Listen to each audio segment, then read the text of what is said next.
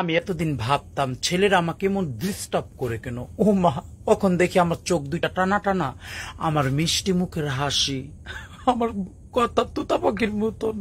আমাকে তো চাইবই, আমাকে তো পছন্দ করবেই।